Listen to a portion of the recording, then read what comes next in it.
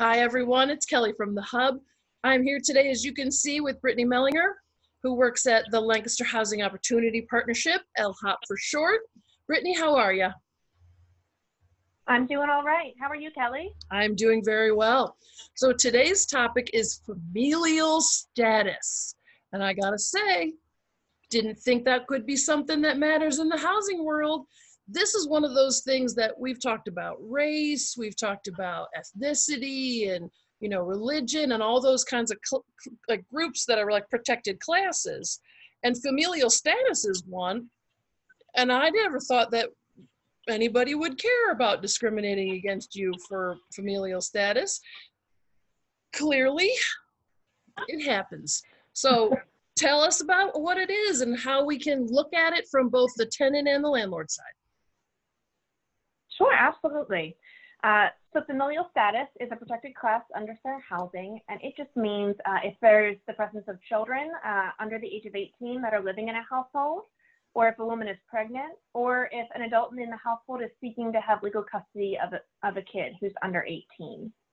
Um, so, you know, back a couple days, uh, decades ago, you might have seen an advertisement that would say, no pets, no kids. You don't see those anymore for the most part. You shouldn't see it, uh, those. And if you do, give me a call because I'd love to know about it. right. But that's there, hugely there illegal. Some, yes, yes, don't do that.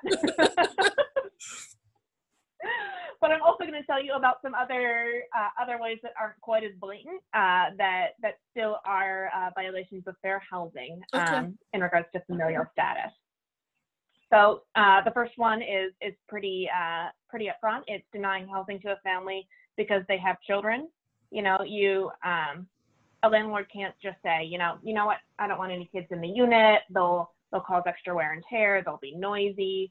Uh, the landlord doesn't have the right to discriminate um, and and deny that. Well, let me ask you this. But then can they charge you extra for like a cleaning and wear and tear fee and all that kind of stuff? So they're not discriminating against you for bringing you into the unit, but they're going to charge you extra just because you have kids. That's a great question. They they actually can't do that. Um, you know, that's providing different terms and services to to a family um, versus what you would do for um, for a couple of adults without without children. So, so Right, because there could be some fair housing as sloppy well. adults out there that Sure, are absolutely. nastier than kids. So yeah, well, good to know. Mhm. Good to know. Yeah, another thing uh, that we occasionally hear about is uh, segregating housing. So having uh, certain areas of a property be just for adults and other sections of a building, you know, this is where all the families with kids, you know, they're all on one floor, you know. Um, so folks might try to justify that by saying, you know, kids are noisy, you know, older adults might not want to hear them. Um, but that's that's not acceptable. Families have the right to live where they would like to live not in certain sections of a property. I, and I could I could Another one. absolutely see from a landlord's perspective that that would be that could actually be really common. Like if you've got like Mhm. two wings of a building, you know, like a multi-storied like apartment building, you could have this wing is just for kids and this wing isn't. And okay, I get that. All right. This is why we Yeah, got to but do everyone's entitled to, to fair housing choice and to live where they feel their uh, is best for their family. So that's not for a landlord or a property manager to decide. That's for the family to decide. Um, so no steering. Um, another one that we get a lot of questions about is occupancy standards. Uh, we'll sometimes get questions saying, "Well, I'm pretty sure my municipality says, uh, you know, just two kids uh, or two people per uh, per bedroom or a certain amount of square footage." Um, and doesn't HUD have rules about this? Um, so HUD has put out some guidance around this, and they said in general it, it's pretty reasonable to to assume you know two uh, two people per, per bedroom. You know that's that's a, a, a pretty common uh, arrangement, um, but it's not a hard and fast standard. So you really need to look at what's reasonable for the property. If you've got a really small trailer without a whole lot of extra room, you know, you might say, you know, this is a two bedroom trailer. We can really only have four folks and that's it. Um, but if you've got a large roomy apartment, uh, a really large master bedroom that you could easily have three kids staying in, or say you've got an extra den, something like that, and you could put an extra uh, person in there, then you might say, okay, yeah, we can have five people in this two bedroom unit. So uh, it really should be evaluated on a case by case basis um, just looking at the size of the, the unit, um, the capacity of the, the sewer system, the septic system, other building systems, and of course, taking into consideration any state or local zoning laws as well. Mm, So that's something that. that can disproportionately impact families, especially larger families that may have trouble finding uh, units with enough bedrooms. Right, because if you have four kids, that Mhm. now can become really complicated and cost prohibitive. So if you if you're trying to sort of sneak in all the kids in a smaller place that doesn't really have enough space according to your municipality, that's not a good idea. Yeah. Yeah, you should always be upfront, you know, with your landlord. Uh, make sure that you put, you know, if they're requesting to know all the names of the inhabitants, make sure you you list that out. But have that discussion with them. If it's a large unit, you know, um, definitely have a discussion, and and, uh, and a landlord should evaluate that for reasonableness and say, you know what, even though you've got three kids and two adults in this two bedroom unit, you know, in this case it is reasonable, and you can go ahead and um, you can go ahead and rent here. Right, and it could be much more reasonable if they're small kids and like, you know, little kids and it would Mhm. might be less reasonable depending if they're teenagers. So sometimes the size of the kid Absolutely. matters too. yeah. Yeah. oh, teenage boys, the best. so speaking of teenagers, that was a great segue, Kelly. Uh, we often see some rules regarding facilities.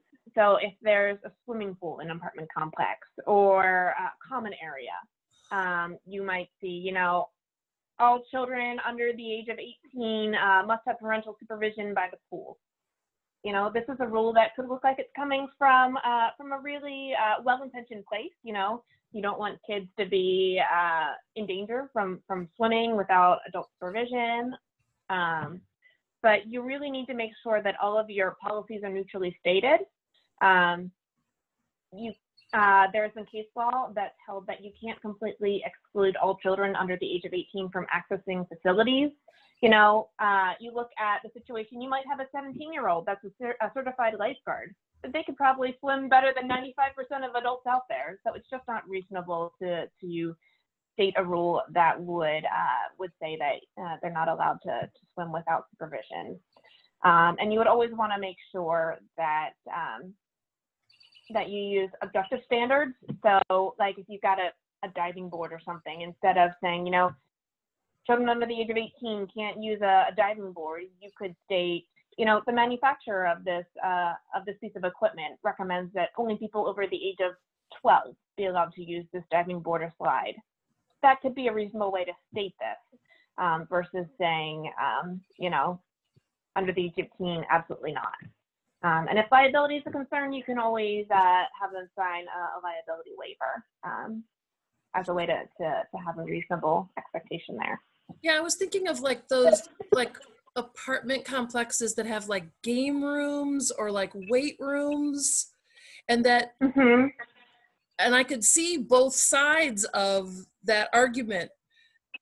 Right? If you have a game room that has like ping pong tables and foosball tables and pool tables and all that kind of stuff, but you you have to be careful about what that means and like how that is.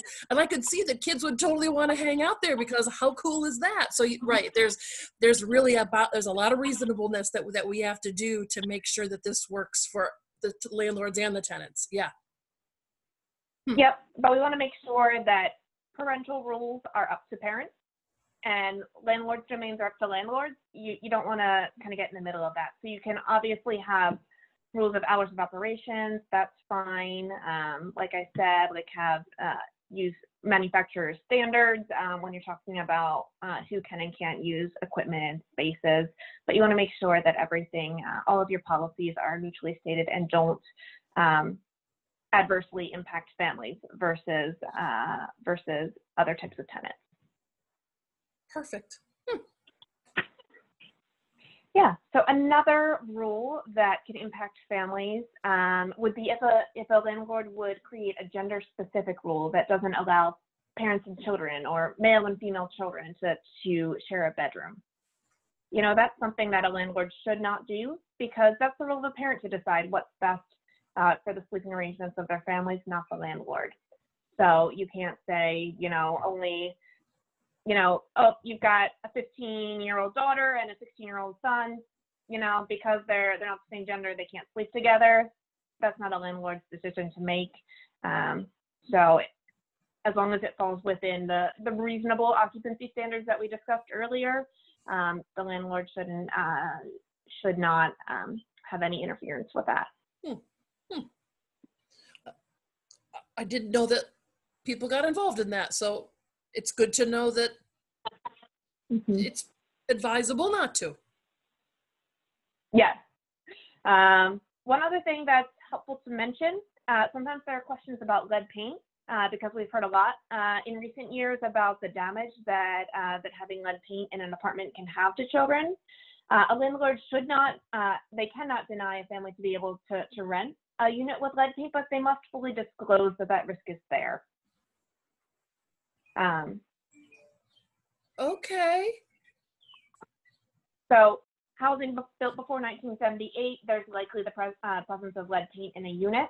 Uh, and then there's a pretty standard packet that, that, uh, that's given out along with a lease signing. Um, so uh, the landlord should let the family know.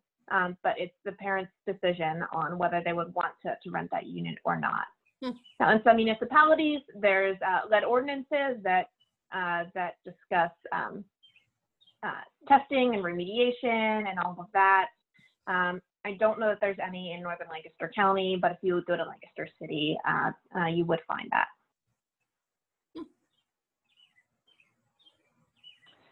So that's uh, that's pretty much all that I have.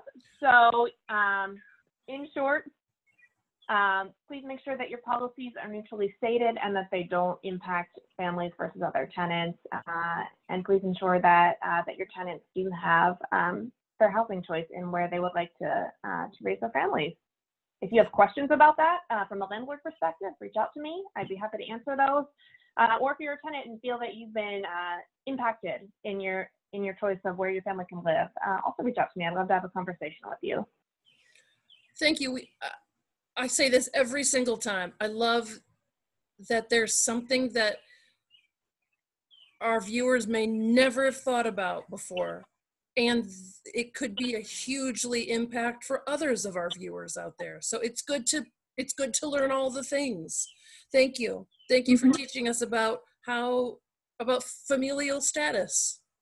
It's wonderful. Of course. Thanks, Kelly. You can reach out to LHOP at any time. They're always here for you. Thanks, everybody. Mhm. See you again. Bye.